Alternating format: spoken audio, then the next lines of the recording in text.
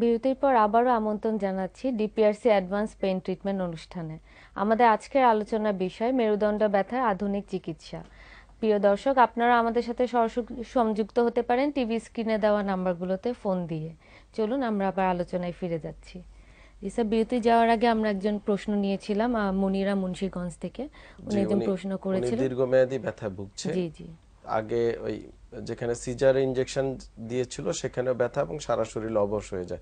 আসলে এটা দীর্ঘমেয়াদী যে কোনো রোগে এটা হয়। যেমন শুধু উনি না ওনার মতো যারা দীর্ঘমেয়াদী রোগে ভুগছে তাদের কিন্তু পরে সাইকোলজিক্যাল কিছু প্রবলেম তৈরি হয়। তবে উনি বলতে চাচ্ছিল অ্যানাস্থেশিয়া দেওয়ার জায়গা থেকে ওনার বেশি ব্যথা হয়। সামনে ঝুঁকলে ওখানে লাগে। এটা হচ্ছে অ্যানাস্থেশিয়া না যে কোনো কাটা জায়গা বা যে কোনো ইনজিউর জায়গায় পেইন হতে পারে। তবে ইনজুর জায়গায় যদি পেইন হয়, এটা একটা পজিটিভ মানে পেইনের ক্ষেত্রে এটা একটা ভালো দিক। কোনো আঘাতপ্রাপ্ত জায়গায়, কাটা জায়গায় পেইন হবে, এটাই স্বাভাবিক। কারণ ওখানে নার্ভ ইনজুরি হয় বা নার্ভ কাটা যেতে পারে পেইন হতে পারে। নার্ভ অ্যান্ডিং পেইন হবে। এটা কোনো খারাপ কিছু না। তবে যেহেতু উনি ভুগছে সেক্ষেত্রে আমি মনে করি ওনাকে ফিজিওথেরাপি দিতে হবে। উনি যদি প্রপার ওয়ে ফিজিওথেরাপি দিতে পারে কয়েকদিন দিলে, দশ পনেরো বিশ দিন দিলে এটা ঠিক হয়ে যাবে। আর পাশাপাশি যে অন্য সমস্যা হচ্ছে যে শরীর অবশ হয়ে আসে বা সারা শরীরে ব্যথা, এটা ব্লাড টেস্ট করে কিছু দেখতে হতে পারে, যে অনেক সময় মিনারেল ঘাটতি থাকতে পারে, বিভিন্ন ভিটামিনের ঘাটতি থাকতে পারে, বিভিন্ন আর্থ্রাইটিস জনিত সমস্যা থাকতে পারে। আরেকটা হচ্ছে উনি কিন্তু সাবধানে বলছে, আমি সাবধানে কাজ করি। এটা একটা ইম্পর্টেন্ট সাবধানে অবশ্যই আমাদের কাজ করতে হবে বা আমাদের প্রত্যেকটা কাজের মধ্যেই কিন্তু একটা আমরা বলি বায়োমেডিক্যাল ইঞ্জিনিয়ারিং বা আর্গোনমিক্যাল একটা কারেকশন থাকতে হবে বা আর্গোনমিক্যাল রুলস মেনে আমাদের কাজ করতে হবে। এখন আপনি পারিবারিক কাজ করবেন, ইচ্ছা মতো করবেন, শরীরের শক্তি দিয়ে বা সেটাকে সায়েন্স না মেনে, তাহলেই কিন্তু শরীরের বিভিন্ন সমস্যা দেখা দিতে পারে। তো এইটা একটা ইম্পর্টেন্ট জি। কাজের ক্ষেত্রে আমরা কাজটা কীভাবে করব, কত সেফ ওয়ে করব, কত প্রিভেন্টিভ মেজার নিয়ে করব? যেমন আমরা যে চিকিৎসাগুলো দেই বা আমরা যে ওষুধটা লিখি সেটা সবার আগে আমাদের ডাক্তারদেরকে চিন্তা করতে হয়, এটার পার্শ্ব প্রতিক্রিয়া কি? বা এটার কন্ট্রা ইন্ডিকেশন কি? এটা এই রুগীর ক্ষেত্রে আমি দিতে পারব কি পারব না? এটার উপকারিতার চেয়ে আমি যদি অপকারিতাটা বেশি চিন্তা করি, তাহলে কিন্তু আমি একটা ভালো চিকিৎসা দিতে পারব রোগীর ক্ষেত্রে। তো দ্রুপ প্রত্যেকটা কাজের ক্ষেত্রে কাজটা করতে গেলে আমার শরীরে শরীরে কি কি সমস্যা হতে পারে? কি কি ইনজুরি হতে পারে, আমার ব্যাড কি এফেক্ট আসতে পারে, সেই জিনিসগুলো রুগীরা যদি জানে, আমরা কিন্তু সেটা নিয়ে বারবার কথা বলছি। বিভিন্ন চলাফেরা, উঠা বসা কাজের নিয়মগুলো বলে আসছি। তাহলে কিন্তু অনেকাংশেই প্রিভেনশন করা যায়। যেমন ওনার ক্ষেত্রেও যে স্বর্ণ দীর্ঘদিন উনি মেক করেছে, এখন যদি উনি ব্যবসা করে, এটা ভালো ওনার ক্ষেত্রে। কাজটাও থাকল, ওনার পেশাও চলল পাশাপাশি উনি শরীরটাও সুস্থ থাকতে পারল এবং ওনার মাধ্যমে যারা স্বর্ণ মেক করে তারা এখন সচেতন হইতে হবে। যে হ্যাঁ আমাকে মেক করতে গেলে টানা সামনে ঝুঁকা যাবে না। তো আমার মনে হয় উনি যদি ফিজিওথেরাপি চিকিৎসা না ইনশাল্লাহ হয়ে উনি হয়ে যাবে। একজন দর্শক আছে একটু আচ্ছা। প্রশ্নটা নিন জি দর্শক কে বলছেন কোথা থেকে বলছেন আপনার বয়সটা উল্লেখ করে প্রশ্নটি করুন।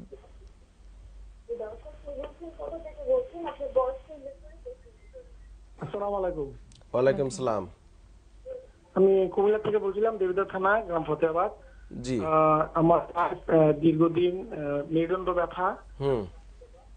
ব্যথা অনেক ব্যথা হওয়ার আগে আপনার হাত পাগুলি জিম জিম করে।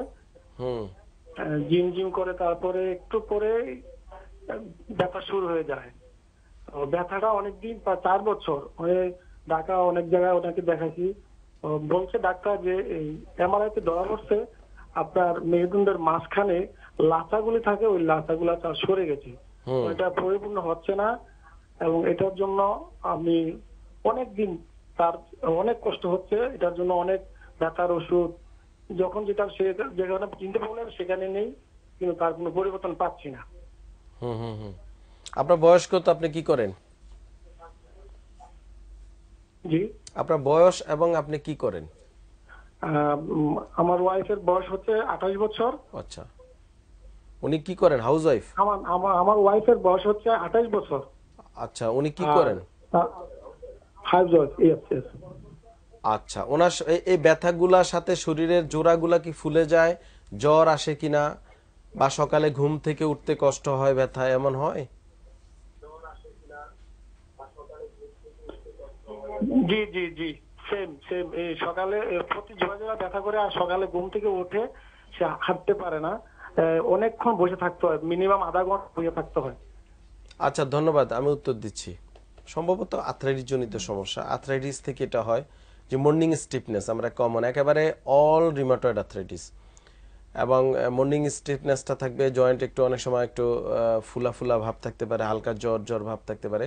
আস্তে আস্তে যত দুপুর হয়ে যাবে, তখন কিছুটা পেইন কমে আসে। রুগী মুভ করতে পারে আস্তে আস্তে আস্তে।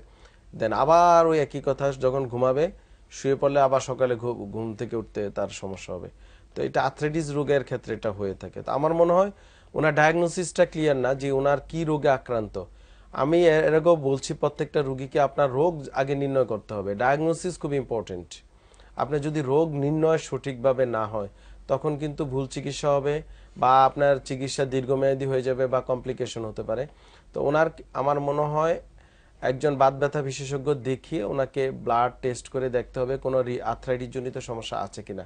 আর পাশাপাশি মহিলা যারা আছেন গ্রামে, গঞ্জে বা যেখানেই, যারা আমাদের মা বোনরা আছেন হাউসওয়াইফ বা পারিবারিক কাজে ব্যস্ত, তাদেরকে বিভিন্ন নিয়ম কানুন মেনে চলতে হবে। যেটা নিয়ে আমরা কিন্তু আলোচনা করছি আমার ইউটিউব চ্যানেল ফেসবুকে বা আমাদের এসএ টিভির নিয়মিত যে লাইভ হয়, এখানে আমরা কথা বলছি। বিভিন্ন পত্রপত্রিকা, বিভিন্ন ডাক্তাররা কিন্তু সচেতনতা ডেভেলপ করার চেষ্টা করছে যে বালিশ কয়টা দিবে ঘুমানোর সময় বা পারিবারিক কাজ করা, যেমন ঘর ঝাড়ু দেওয়া বা উঠোন ঝাড়ু দেওয়ার ক্ষেত্রে সোজা হয়ে মেরুদণ্ডকে সোজা করে ঝাড়ু দেওয়া, এই নিয়মগুলো মানতেই হবে এবং এই মেসেজগুলো আপনারা কিন্তু একজন একজনকে পৌঁছে দিতে হবে। যদি আমরা এখনই সচেতন না হই, তাহলে কিন্তু আমাদের কিন্তু এই জাতীয় কমিউনিকেবল নন কমিউনিকেবল ডিজিজগুলো বাড়তেই থাকবে। যেমন কোমর ব্যথা, হাঁটু ব্যথা, শারীরিক সমস্যা বাড়তে থাকে।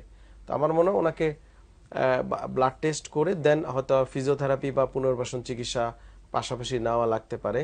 আর ঔষধ অনেক ক্ষেত্রে আর্থ্রাইটিসের প্রয়োজন হতে পারে, সেটা ডাক্তার সাহেবরা দেখলে বুঝতে পারবে।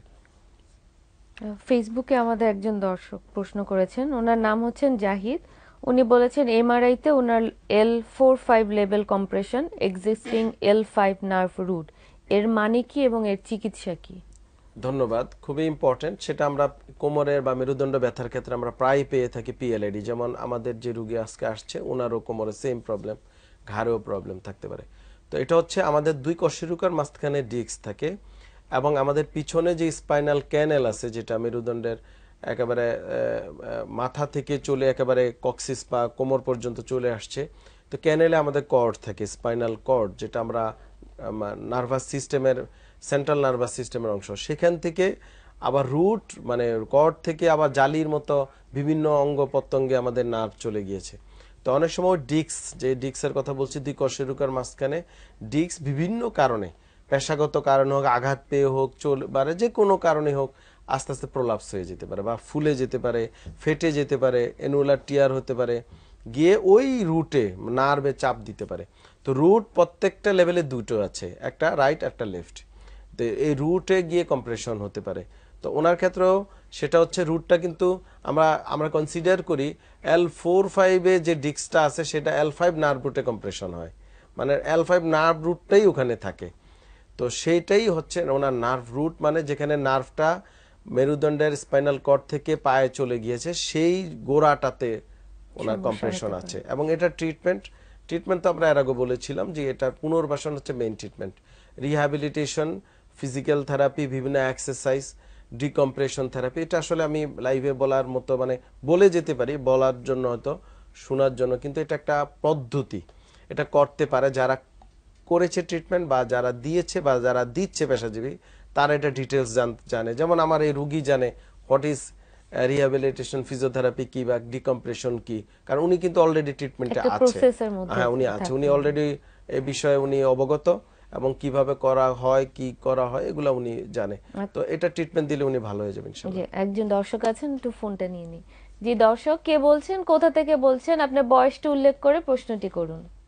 আসসালামু আলাইকুম আমি ফরিদপুর। থেকে বলতেছি আমার নাম মোহাম্মদ ইনামুল শেখ আমার বয়স বাইশ। বছর জি। জি। যেহেতু আপনি আপনার সাথে কথা বলছিলাম তারপরে আবার ভাবলাম যে এত সুযোগ সুবিধা আপনার সাথে কথা বলতে পারতেছি আবার একটু ফোন দিই। বলেন। কথা হলো যে স্যার এর আগে মানে এমআরআই করানোর পরে আমার লেগামেন্ট ছিঁড়ে গেছিল স্যার যে complete pair of ACL sir. হুম হুম। পরে সার্জারি করানো হয়েছে সার্জারি করানোর পরে মানে এই প্রায় চার মাস হয়ে গেল এই যে পা খুব লুজ ঢিল ঢিল লাগতেছে। আর হলো যে স্যার মানে জিরা হাঁটুতে শক্তি দিলে পারা জয়েন্ট থেকে সরে সামনের দিকে চলে যায় স্যার। আমি হাঁটুতে যতক্ষণ শক্তি দিয়ে রাখব ততক্ষণ জয়েন্টটা সরে সামনের দিকেই থাকবে। আর যখন ওই শক্তিটা মানে কমায় ছেড়ে দেবো তখন মানে ঠিক জায়গা মতোই থাকবে। স্যার হুম হুম। এই হলো সমস্যা। এর আগে কি আম- আমাদের সাথে কথা বলেছিলেন? জি স্যার আপনি গেছে আপনি আপনার সাথে কথা বলছিলাম হয়তো আমি কথাগুলো ঠিকভাবে বলতে পারিনি। আচ্ছা তা এখন আম- আম- আমরা কোনো পরামর্শ দিয়েছি? এমনি মানে আমি ঠিকভাবে ব্যালেন্স ছিল না ফোনে আমার মনে হয় আমরা ওনাকে ফিজিওথেরাপি নেওয়ার জন্য বলেছিলাম। বলেছিলাম আচ্ছা। এখন মানে আমরা কোনো এক্সারসাইজের কথা বলেছি কোনো কিছু ট্রিটমেন্টের কথা বলেছিলাম? এটা কি করতেছেন না? আপনি সাইকেলিং করতে বলছিলেন আর যে পায়ের নিচে মানে কীভাবে জানি কি বলতে দিছিলেন সেটা বুঝতে পারিনি আমি। আচ্ছা। আচ্ছা প্রথমত আপনার এখন যে কথা আপনি বলছেন অপারেশনের পরে এখনও ভর দিলে পাটা চলে যাবে মনে হয়। তাহলে আমার মনে হয়। সার্জনের সাথে আবার আপনি একটু আবার রিঅ্যাসেসমেন্ট করেন। কারণ চাপ দিলে সামনে চলে যাওয়ার প্রশ্নই আসে না। এটা এসিএল ইনজুরি থাকলে এটা হয়। কিন্তু যেহেতু অপারেশন হয়েছে, অবশ্যই রিপেয়ার হয়েছে এতদিনে। আমার মনে হয় ওনাকে একটু ফার্দার আবার দেখান। কারণ হচ্ছে রিঅ্যাসেসমেন্ট করতে হবে। যে আদৌ অপারেশনটা একজাক্ট হয়েছে কিনা ঠিক মতো হয়েছে কিনা বা হিলিং হয়েছে কিনা, এটা একটা ইম্পর্টেন্ট আর দুই হচ্ছে, আপনার এক্সারসাইজের ব্যাপারে খুব সহজ যদি আপনার আমার ইউটিউব চ্যানেল বা ফেসবুকটা আপনি ফলো করেন, আপনি ইন্টারনেটে সার্চ দিলে সেখানে লিখবেন যে কোয়াড্রিসেপস এক্সারসাইজ বা হাঁটুর বিভিন্ন ব্যায়াম। সেই ব্যায়ামগুলো আমি একেবারে ডেমনস্ট্রেট করে ইউটিউব এবং ফেসবুকে দিয়ে রেখেছি আমার চ্যানেলে তো সেখানে আপনি সহজেই পেয়ে যেতে পারেন।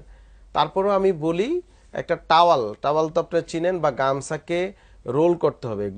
হ্যাঁ রোল করে মোটামুটি এক থেকে দুই ইঞ্চি মোটা তৈরি করতে হবে। করে হাঁটুর নিচে দিয়ে হাঁটু দিয়ে প্রেস করা, শুয়ে শুয়ে বা বসে বসে, যেটা আমরা বলি কোয়াড্রিসেপস স্টেটিক এক্সারসাইজ অথবা ইউটিউবে সার্চ দিলে অনেক ডাক্তারের পরামর্শ পাবেন। স্টেটিক এক্সারসাইজগুলো করতে পারেন বা cycling also another mobilising and strengthening exercise তো অথবা উঁচু জায়গায় বসে পায়ে একটা আধা কেজি, এক কেজি ভর দিয়ে বা কিছু বেঁধে পাটা উঠানো, নামানো this is quadricep strengthening exercise তো এই যেহেতু এক্সারসাইজ আপনি পাশাপাশি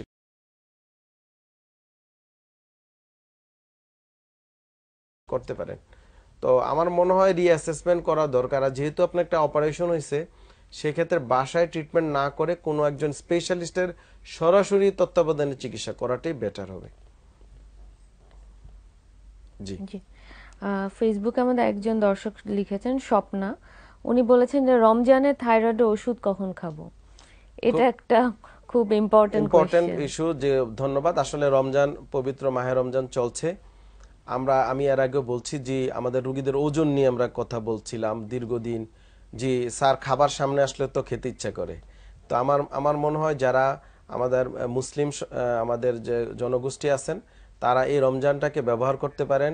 আল্লাহর সন্তুষ্টি লাভের পাশাপাশি শরীরকে মানে সুস্থ রাখার জন্য, সেক্ষেত্রে আমরা খুব সহজেই কিন্তু ওজন কমিয়ে ফেলতে পারি। যদি আমাদের ইফতারের মেনুটা সাবধানে খাই, আর রাতের খাবার আর ভোরাতের আমাদের সাহরির খাবারটা। তো সেটার মেনু কিন্তু আমি অলরেডি ইউটিউবে ফেসবুকে দিয়েছি। কি খেলে ভালো, ওদিকে আমি যাচ্ছি না। এখন হচ্ছে ওষুধ খাওয়ার ক্ষেত্রে খুবই ইম্পর্টেন্ট কারণ অনেকে তিন বেলা ওষুধ খায়, অনেকে চার বেলা, অনেকে এক বেলা, অনেকে খালি পেটে ওষুধ খেতে হয়। তো ওষুধ খাওয়া অবস্থায় রমজানে কীভাবে খাবে? যারা সকালের ওষুধটা খেত, সকালে মানে ব্রেকফাস্টের সময় যে ওষুধটা আইদার খালি পেটে খেত বা ভরা পেটে খেত সেই ওষুধটা তারা ভোরাতে নিয়ে যাবে। মানে ভোরাতে আমরা যখন সাহরি খাই, তখন সেটা খেতে খেতে পারে। স্পেশালি থাইরয়েডের রুগী তো খালি পেটে খেতে হয়, তখন সে খালি পেটে ওষুধটা খেয়ে নেবে। তারপরে সে সাহারি খেয়ে নিতে পারে। এটা হচ্ছে প্রত্যেকটা রুগীর ক্ষেত্রে। আর যারা ভরা পেটে খেত সাহারি পরে খেয়ে নিবে, খাবারের পর সেটা খেয়ে নিবে। আর মদ দুপুরের আর রাতের ওষুধ। রাতের ওষুধ তো রাতে খেতেই পারে। তো সেটা রাতের ওষুধটাকে ইফতারি পরে নিয়ে আসতে পারে আর দুপুরের ওষুধটাকে মধ্যরাতে নিতে পারে। মানে তিন বেলাকে আমাদের ইফতারির পর মধ্যরাতে এবং সেহা- সেহারির মধ্যে আমরা ভাগ করে নিতে পারি। খুব সহজেই ওষুধ এভাবে নেওয়া যেতে পারে। আর অন্যান্য ক্ষেত্রে যদি কারও আরও বেশি কোনো ওষুধের প্রয়োজন হতে পারে তবে সেই ক্ষেত্রে সেই রুগীকে বলব, তার যে ডাক্তার আছে, তার সাথে পরামর্শ নিতে। ওই ডাক্তার সাহেব অবশ্যই আপনাকে কীভাবে নিলে বেটার হবে এবং আপনার শরীরের ফিজিক্যাল কন্ডিশন আপনার মানে মানসিক কন্ডিশন বা মেডিকেল স্টেটাস অনুযায়ী উনি আপনাকে পরামর্শ দিবে। জি, একটা আমরা আবার আলোচনায় ফিরবো, একটা বিজ্ঞাপন বিরতি নিয়ে। প্রিয় দর্শক, দেখছেন ডিপিআরসি অ্যাডভান্স পেইন ট্রিটমেন্ট অনুষ্ঠান। আমাদের সাথেই থাকবেন। নিচ্ছে একটা ছোট্ট বিরতি, ফিরছি কিছুক্ষণের মাঝেই।